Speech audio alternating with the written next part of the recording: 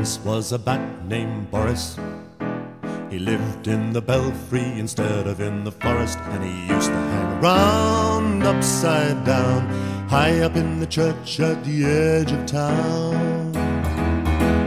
Dingling, dangling, upside down, he couldn't see too well, but he heard the slightest sound from the flutter of a moth to a splutter and a cough, high up in the church at the edge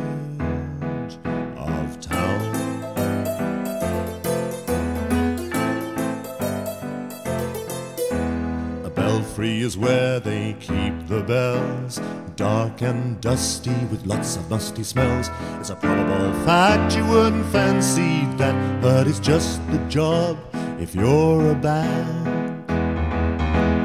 Ding-a-ling, dang-a-ling, upside down. He couldn't see too well, but he heard the slightest sound from the flutter of a moth to a splutter and a cough high up in the belfry at the edge of town.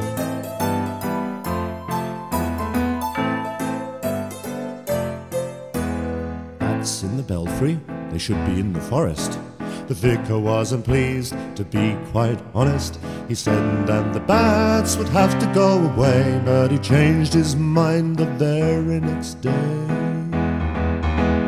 Ding-a-ling, dang-a-ling, upside down. He couldn't see too well, but he heard the slightest sound from the flutter of a moth to a splutter and a cough high up in the belfry at the edge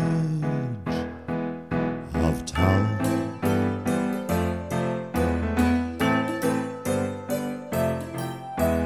That night some burglars came to rob the church. Boris, he heard them and fluttered off his perch, and the shadow of his wings in the pale moonlight made them drop their bag. Well, they got such a fright. Ding-a-ling, dang-a-ling, upside down. He couldn't see too well, but he heard the slightest sound from the flutter of a moth to a splutter and a cough high up in the belfry at the edge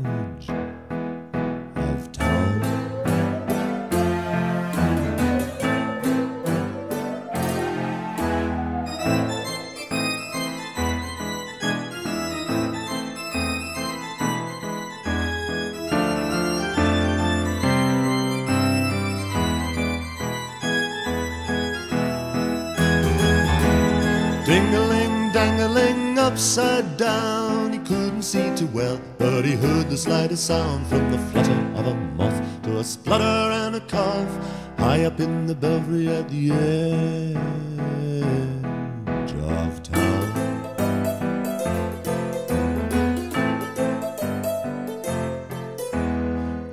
went the burglars, they left behind their bag. They only got a scare, they didn't get the swag. And the vicar was so pleased, as far as I can tell. Boris, the bat, still sleeps amongst the bells. Ding-a-ling, upside down. He couldn't see too well, but he heard the slightest sound from the flutter of a moth to a splutter and a cough high up in the belfry at the edge.